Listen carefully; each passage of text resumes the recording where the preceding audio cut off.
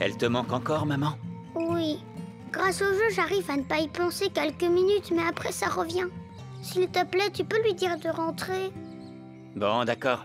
Merci, papa. Ben, Elle se faisait une telle joie de se rendre à cette fête pour le nouveau-né. Moi, je n'en vois pas l'intérêt. Enfin, pourquoi vouloir voir le nouveau-né qu'une amie a maintenant sur la figure C'est pas ça une fête pour l'arrivée d'un nouveau-né Bien sûr que si. Maman et ses copines vont voir si le nez que leur ami s'est fait refaire n'est pas trop moche. Non, c'est pas ça une fête pour l'arrivée d'un nouveau-né Tu ne penses vraiment pas ce que tu dis, avoue Mais si, bah alors dites-moi ce que c'est. C'est une fête en l'honneur d'une dame qui porte un bébé dans son gros ventre tout rond. Ah oui, c'est ça. Mais tu le sais très bien. Il y a des cadeaux? Oui, mais ils sont tous pour le bébé.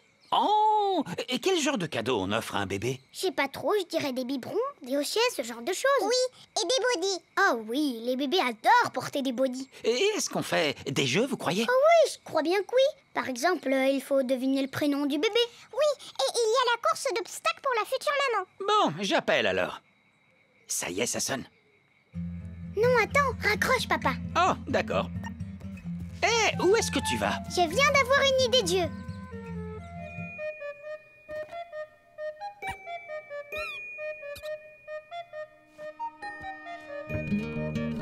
Parfait. Est-ce que tu es prête, Bingo? Lou Rose, maman doit aller à la fête pour le futur nouveau-né, d'accord? Ok, maman. Non, Bingo, fais semblant d'être triste. Oh, je vois. Non, maman, reste maison motrice. T'inquiète pas, ça va aller, mon petit cœur.